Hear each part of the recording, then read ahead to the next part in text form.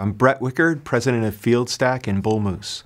I see as being unique or special about doing business in Maine the tight community and the fact that one of our great assets here is that we know one another and we can connect and that people are real self-starters here. So there are a lot of challenges that some businesses out of state face, like motivated employees, et cetera, that here that we really don't have to face, that we have people who deeply care about their jobs and hit the road day one going for it.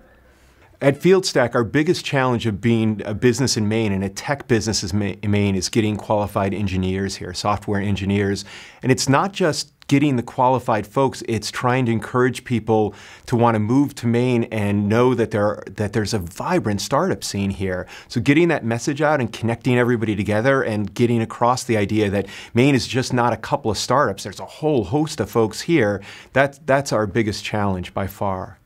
the best part of uh, Maine Startup and Create Week is really the connections and, and, and getting the idea that, that there is such a vibrant scene here and that this kind of Yankee ingenuity that goes on here is, is real and definable and is going to move the state forward massively.